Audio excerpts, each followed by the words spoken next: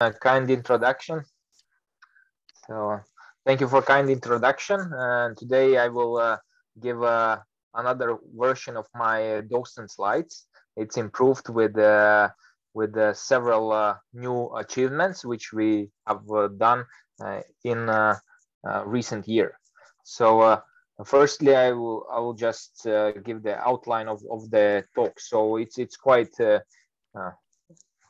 long, but I will try to skip very deep technical details. So just mainly focus on uh, what we are, what uh, what what is most important takeaway. So I will first tell bit about, about myself, then about motivation and some basic principles which we will need to understand uh, so we can uh, get through the technical material. Then I will tell about the speci specifically about the device we use to achieve these all results and then we'll show several experimental de demonstrations, which we uh, did by using different signals. And then I'll show uh, what we plan to do in the future with this technology and, and some conclusions. So let's start first with education some and external external stays. So I did uh, my last degree was docent in physics with specialization in optical communication. But all three degrees I have done in uh, in Riga Technical University. I have been also partly in uh, Den Technical University of Denmark. And then uh, I came to Sweden back in 2015. So, uh, and uh, I have been traveling quite a lot. And these are external stays, which means that I spend uh, some time, uh, for example, most of these visits when I was employed at RISE. Then I spend some some days at, at uh, foreign the companies and uh, most of these visits are related to the component i'm going to talk about today.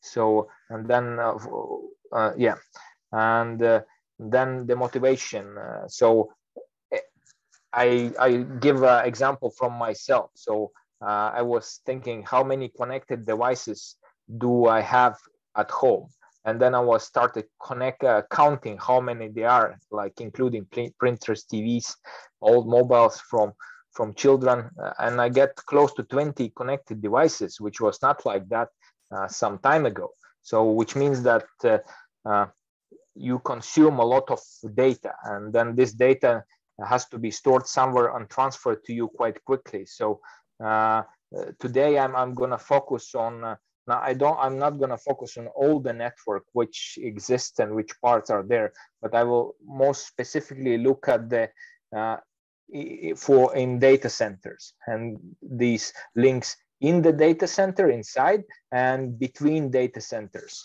as well. So uh, just just uh, some examples. Of course, there are different technologies available for uh, transoceanic, transoceanic links or metro links or, or 5G front haul and access networks. So, but the main focus will be on, on data center interconnects. And uh, you probably know what is data centers and they know that they consume a lot of energy, but they store also a lot of data. And then I have a nice example here, uh, which was shown in ECOC 2021 conference in, uh, in uh, one of the opening speeches uh, by researcher from uh, Nokia Bell Labs. And then here, here we see a picture uh, and these are the view of data centers. And you can see that they and then there's also date when it was built. So they built one in 2009 then 2012 14 15 16 and in 2017 they had to build two data centers. So this can go uh, exponentially. So you don't want to build another 10 data centers build 10 data centers in the same place even though uh, Microsoft is already testing out how to uh, put a data center on the bottom of the sea. So, uh, and, and, and how to overcome this is to make the devices uh, which are used for communication in the data center uh, higher speed and higher energy efficiency. So you can uh, transmit more information with the same energy. So, and the thing what I'm, what what I'm well, talking about, it's, it's technology which goes into these packages. It's a specific packaging for transmitter and receiver for a pair. So, and then it, it goes into some, some equipment. And these are what we typically been dealing with in, in data centers. But then there's also one uh, trend where the when this all uh, uh, components goes into here and then there's only fiber connecting this place to here and it calls onboard optics which requires a different mindset mindset how to uh, create how to integrate uh, different different parts of, of, of, of, the transmitter and receiver. So but uh, yeah I will, I will i will talk about some things which are inside these modules uh, and which are used for for high-speed communication so uh, basic principles so i'll just show all the pictures so um, so what what do we do in, in, in a physical layer so we want to transmit uh, uh, data. So from uh, from point A to point B. So uh, you have a lot of zeros and ones which you want to transmit. And how do you do that? Uh, first, you represent logical information in, into digital signal. And then uh, this digital signal, for, for in order to transmit it over some distance, you need to modulate on some carrier and then you have a carrier. In this case, the carrier eh, is uh, uh, it's a it's a light wave carrier uh, which uh, has a certain frequency, and in in optical communication that's in terahertz uh, the frequency, and in wavelength it's uh, the particular device is around 15 15 nanometers wavelength, and then you see when you have ones and zeros, then you have a you have the light or you don't have the light. And this is a time representation of, of the signal.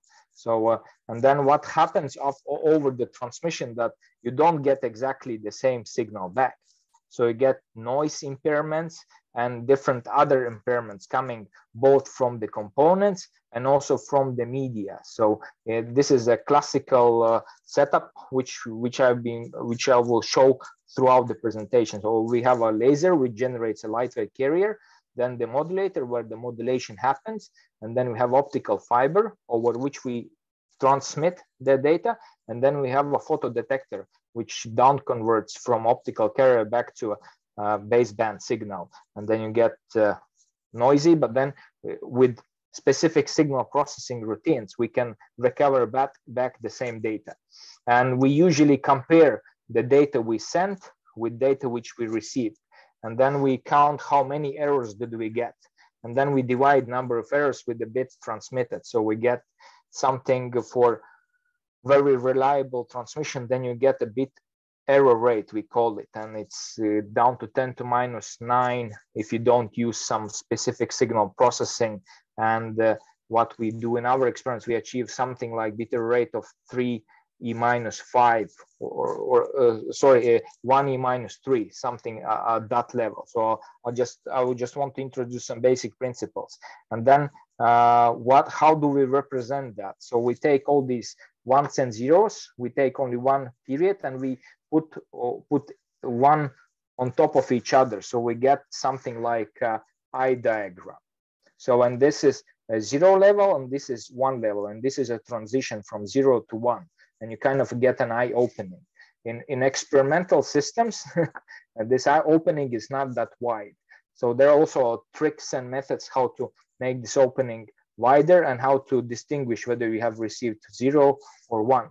And of, of course, you can, uh, what we want to do is, as I said, we want to transmit more information with the same amount of energy.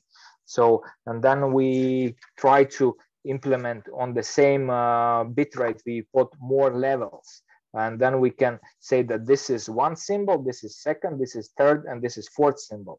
And each symbol corresponds to two bits. So which means that we uh, double the information we can transmit at the same uh, baud rate. So uh, yeah, and then practically it looks something like that. So, uh, and then there's also some tricks what you can do. Uh, because uh, one more one more uh, thing we need to know throughout the seminar is that uh, this is uh, a, a, time domain representation of the signal, but we can also look in the frequency representation of the, of the signal, and that's where the bandwidth comes into the play. And there, there's some tricks we do uh, when we have a limited bandwidth in the system, then we can do uh, a trick called pulse shaping when we can reduce the number uh, the the amount of bandwidth we need. So this one uh, so we, this one is uh, the same signal but we apply a pulse shaping here. So we need less bandwidth for this signal compared to th this signal. So we lose uh, in uh, horizontal resolution, but we gain in vertical resolution. And that we can do also for multi-level signals, like for example, for duobinary, and also for uh, PAM4, where you have a, a three openings. So, but there's also price to pay. Uh, obviously, if you have uh, one opening, then the distance from here to here is larger then you have uh, the same distance divided by two or the same di distance divided by three. So there's a penalty to pay.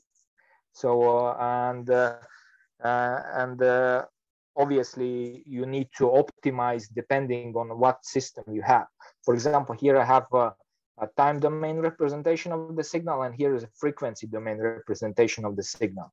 And for example, if we use a duobinary, then we need uh, half of the spectrum uh, to transmit the same uh, amount of uh, bits. But then we lose in, in the resolution. So then we need to use these two eyes instead of one big eye. So there are, there are things you gain and there are things you lose. Uh, so, uh, and then we try to run a, lot of numerical simulations comparing this uh, non-return to zero, for example, when we have a limited bandwidth so this is 112 gigahertz and this is 56 gigahertz. And we do it for non-return to zero. And then we use a duobinary approach. And on this axis, we have uh, received optical power at a certain bit rate. So, uh, which means that if this one is, is the lowest, this is uh, it's the best because then you need the least power to detect uh, the information. And we see that uh, by decreasing the bandwidth, in both cases for non-return to zero or for duobinary, uh, this, this curve goes up. So we need more power to the to, to, to reach the same uh, bit error rate to, to get the same number of errors uh, for different for for a fixed time period.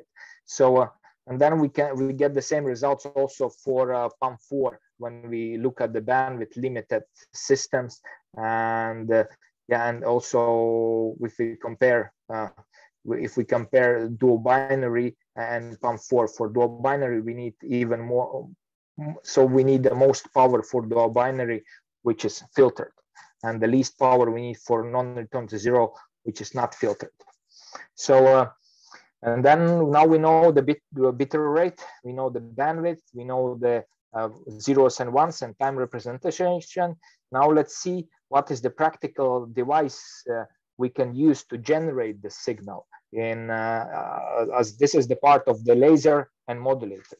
So and uh, these externally modulated lasers have been developed in KTH since 1997. And then this particular is the outcome of HECTO project, which was led by Professor Urban Westergren and uh, here are some references to original papers where, where they describe how the chip works, what is the principle. So basically you have a laser part here, and then you have a modulator part here. And it's a bit special structure, which is called traveling wave. And using this structure, you can extend the bandwidth of the device. And in this case, uh, they claim they ex expand up to 100 uh, gigahertz. So on that, this is the how the package device looks like. And this chip is, is inside there. And this is the 100 gigabits they managed to achieve uh, during HECTO project back in 2010. And uh, when I came in 2015, this device was laying on the shelf. And uh, I was thinking, okay, if you can do 100 gigabit on-off keying with this one, and you have 100 gigahertz of bandwidth, so you basically don't need that much of bandwidth for 100 gigabit as we I was, was showing numerical results before. So thinking, okay, can we do something with it? Can we can we uh, transmit higher speed than just 100 gigabit with this particular device? And here, here are some basic characteristics, and it has quite high output power, which is also very important if you don't use uh, any amplification. So you just have fiber which has loss, you, you need to compensate for that. So then we started the first experiment, say, okay, uh, let's try to do something at 100 gigabit, but let's look at duobinary approach. And this uh, experiment was done in uh, Ghent University together with uh, researchers from, from there and also from some Chinese university. And then there's also one more uh, concept we need to understand that there's also a, uh, an equalizer. So what do equalizer does? It's it predicts the response, the frequency response of the system. And in this case, it's a compression. So you have the transmitter, you have eye, eye opening, then after transmission, so you have a bandwidth limitation in the system, and it's also noisy, you don't get any eye opening. So if you apply the equalizer, then you can get opened eyes of duobinary. So in this case, we had the, we were severely limited by uh, uh, test boards for the transmitter and receiver and also RF amplifier. So optical components were not the main bandwidth limiting factor here. And that you can see from this picture. So this is all system. This is the frequency and this is the amplitude. And then you it, it's combined uh, RF uh, photodiode and RF amplifiers. And then it's this one is fiber, uh, photodiode and, and EML. So you see that the, for one for 500 meters, you get the bandwidth very flat up to 70 gigahertz. Uh, and then when you start to transmit over fiber, so the fiber introduces not only uh, attenuation, but also some frequency selective fading. So which becomes worse with the with the distance. So basically, this having this dip into the spectrum is not very good. So I, I will show what we could do about it. And here's also some pictures of uh, how the devices looked like. Uh, so, uh, uh and then uh, we show one case. So in, in this case, the system was bandwidth limited.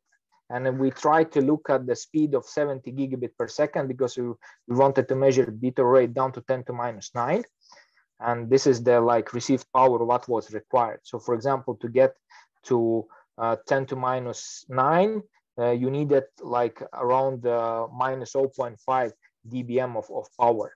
And then uh, when we increase the distance of non-return to zero then then you see that we cannot reach the the to very low bit error rate. So it's very high. And then uh, uh, if we transfer it and, and start to detect instead of the middle of this eye, but we look at this eye and this eye instead, then we can in, uh, then we can gain the same bit error rate and we can gain like 5.5 dB uh, at this uh, level. So and we can get back to 10 to minus 10. So there's obviously a, a, benefit there by using duobinary when, when the system is bandwidth limited.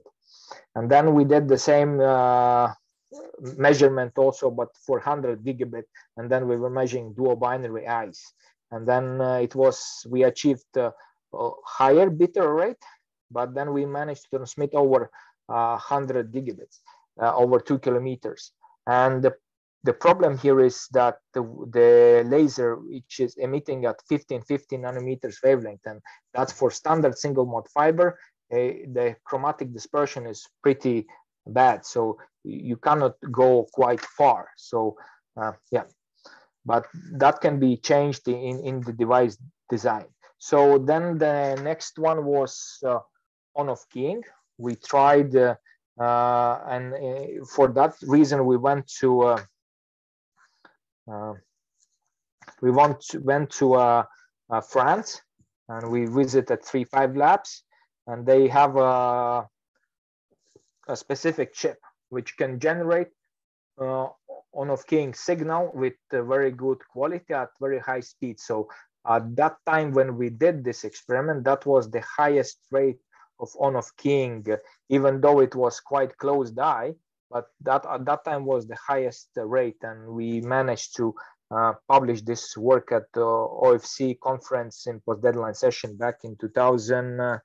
Uh, and uh, then we used this signal at the, at the transmitter. And here is uh, how the transmitter looked like. So uh, here here uh, uh, here is the amplifier we used, also developed in HECTO. Here is our uh, laser plus modulator. Uh, and then uh, here are some uh, references to, to people who, who did made the devices in, in the HECTO project. And then what we what what we did so we needed to generate this uh, high speed signal and then we started with uh, 51 gigabit per second and then we delay and interleave. So we use a two to one selector uh, as, uh, as, a, as a package component. So we double the bit rate here and to double it one more time, then we needed to do it on the chip.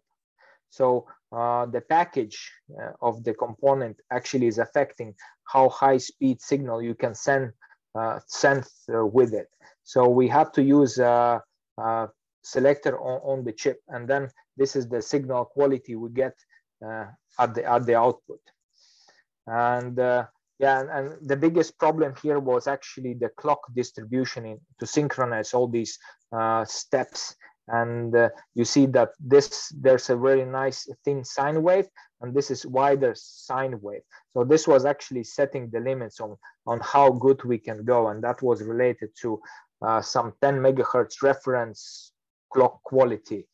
Uh, so Okay, uh, and then uh, we did uh, this for inter data center distances. We did it for 10 kilometers and for 80 kilometers. And this is how the eye diagrams look before digital signal processing. And there's quite heavy signal processing done, uh, some heavy signal processing routines uh, employed. And then we get uh, the eye opening at 140 and not very open eye diagram at 204 gigabaud uh, per second. But that, at, at that time, uh, that was uh, the best one could achieve. And then I'm saying because we have some newer results, which I'm going to show later on. And then we show a typical bit rate versus received optical power. And in this case, we're talking a bit rate down to 10 to minus 3. And then we need to use some uh, post processing uh, like forward error correction, uh, which we which we which is not uh, very acceptable in in data centers because you want to remove as much heavy signal processing as possible. And then we did the same bit rate measurement for uh, 200 gigabaud uh, and this was done for transmission over 10 kilometers of fiber and in, in both cases we were we were compensating for the fiber dispersion and these are compensators which are made here in, in, in Sweden. In Kista, there's a company called Proximion which make uh, uh, fiber Bragg gratings, which we used in this experiment. And then uh, what we were looking for was, can we get uh, uh, multi-level signals in, into the into the device uh, even more than duobinary? So then we visited Keysight. And that's one of, of the trips. And here you can see that we had the access to arbitrary waveform generator, which can generate these electrical signals. And we have a digital storage oscilloscope, which you can store the signal on your computer and then you can do uh, processing on it uh, using MATLAB. And uh, here is the component uh, at the transmitter and the component at, at the receiver. And then we had some amplification and and attenuators and, and, and, and stuff. So uh, at that time, that was the highest uh, rate arbitrary waveform generator and digital storage oscilloscope, which was provided by Keysight. And we used the same uh, uh, uh electro, uh, electroabsorption modulator in, in, in this experiment. So, and then here, here's a basic sim, setup. So we have a laser plus modulator here then we have uh, an electrical signal generator. We amplify it, then we trans transmit it over 400 meters of fiber. And then we compare two scenarios where we amplify signal or we don't amplify the signal. And this was one of the first experiments where we managed to show that uh, uh, you don't uh, need to amplify if you go if you go to multi-level. So for 100 gigabaud PAM4. So and then we also look at even higher uh, uh, le levels of amplitude for this one. So, uh, and here you have a typical response uh, frequent, uh, so the bandwidth available in the system. And the main limitation was coming from uh, arbitrary waveform generator, generator, which was up to 55 gigahertz. But then, uh, as you can see, the green curve and the blue curve, they follow each other quite nicely. So these dips here were coming from arbitrary waveform uh, generator. And nevertheless, we managed to achieve 100 uh, gigabaud uh, PAM4. So in, in this case, we have three eye openings, we have four levels, and which means that 100 gigabaud stands for 200 gigabit per second. So which means that uh, we also achieved uh, what we could do with on-off keying. So we we doubled the rate of uh, signal compared to compared to a previous experiment. We double uh, compared to HECTO results, we managed to double the bit rate we transfer, transmit with the device. And then we get the same I, I also after the transmission. And in this case, we didn't use uh, much of uh, amplification or, or post equalization in, in the system. And then we also compared uh, the bit rate and we optimized that for two modulation formats. For PAM4 where you have three eyes and for PAM8 where you have seven eyes. And then for PAM8 uh, the eyes are so tiny that you can achieve bit rate of like 4 point e minus 2 which is very high bit rate and not acceptable in, in data center interconnects. So we then we focus more on, on PAM4 uh, and then we also look add amplifier and see how good we can be with the amplifier. And then we see that without the amplifier, we are not that bad uh, in, in the signal uh, performance. And we did also that for 300 gigabit uh, PAM, PAM8. So we, yeah, so it was uh, just more bits on, on, the same symbol. And then I would like to show uh, the newest results of the of the which was recently uh, shown at the OFC conference 2022, uh, just uh, some months ago. And then, uh, so as I said, you I said try to look at the eye diagram which we had uh, before. So uh, now we have an opened eye diagram for 200 gigabaud of keying, and that's without EDFA. And then as as a state of the art, so uh, this is the experiment also showed a bit earlier today. So that was the first experiment we showed 204 gigabaud on-off keying. Uh, the same group, will, uh, but uh, which uh, three five labs, uh, they they were collaborating with with polymer polymer polymer modulator group who from Jürgen Leuthold. So they they managed to achieve higher speed, 222 gigabit per second. And the benefit of that modulator that you don't need to have an amplification stage here.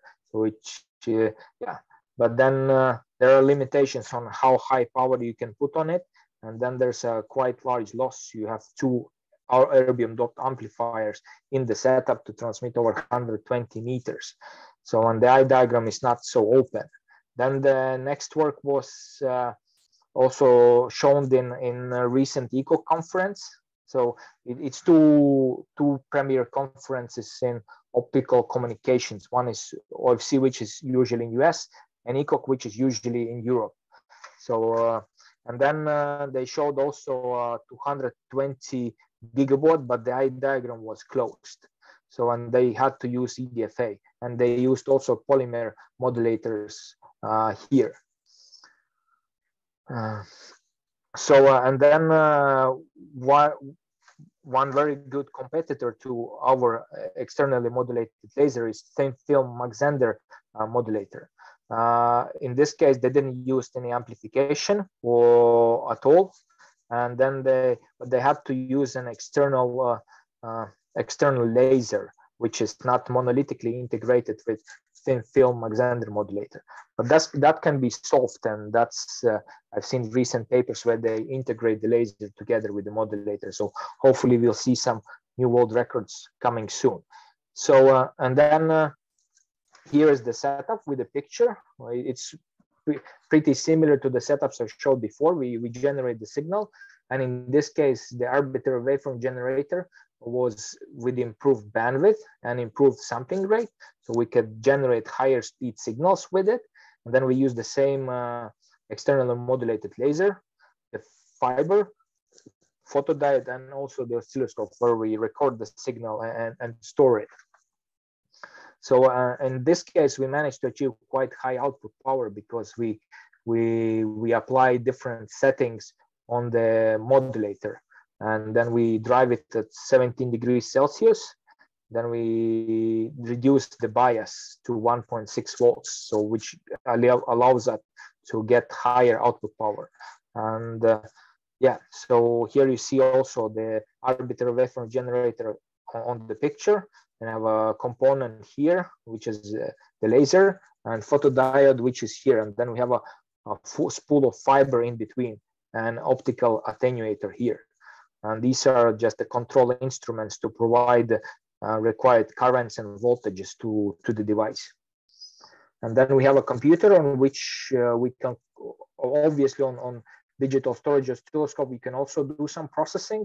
And we compare this eye diagram with the, the eye diagram we can achieve by using our uh, digital signal processing routines we have been creating uh, here in Sweden since, since 2015.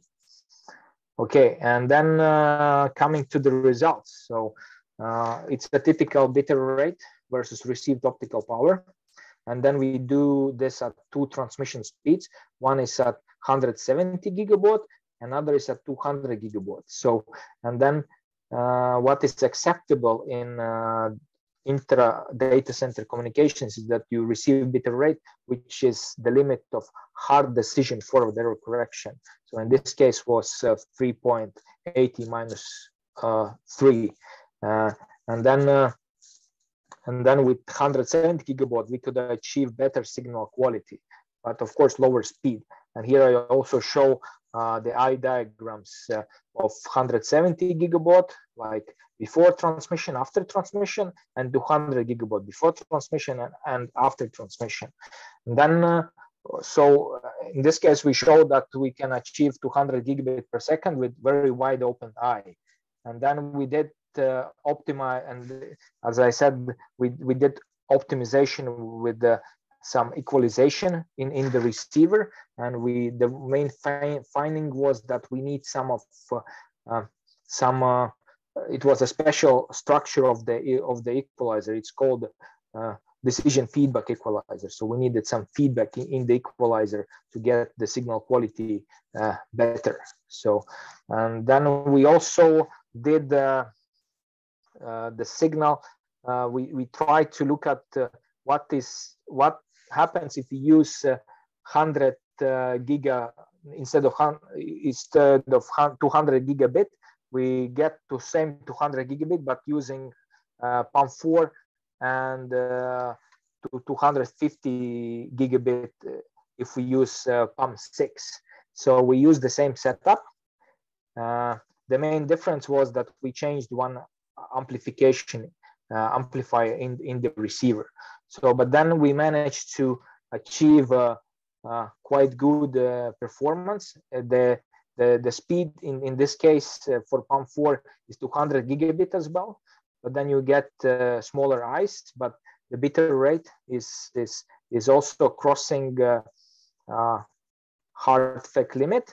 And then we need for that we need around 0 dBm, which means that if we have 3.3 dBm, then we can then we have a, a positive power budget so we can transmit uh, more signal uh, over it.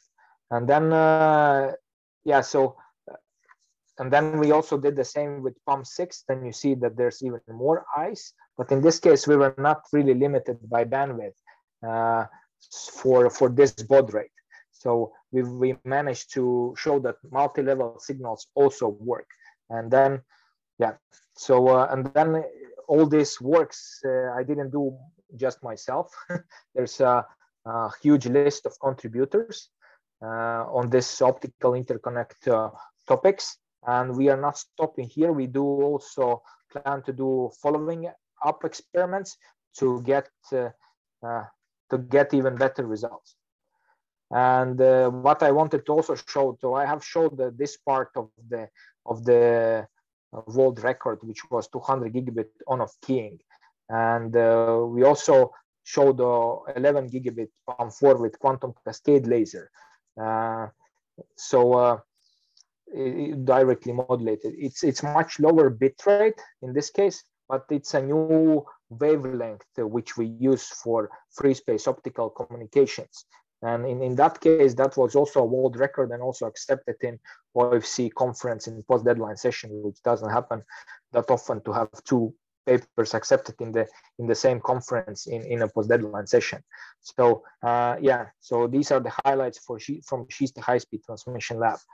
And then uh, I have a bit to tell about Twilight project. So uh, we come back to EML, and then uh, we have a package device which offers a single channel.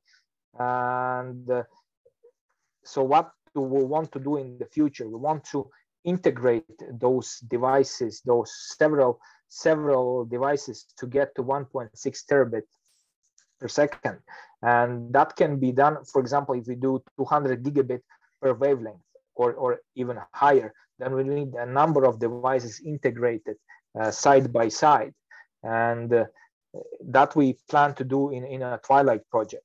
So and uh, yeah so so hopefully you will see some arrays of uh, externally modulated lasers running of 1.6 terabits per second in, in, in a soon future.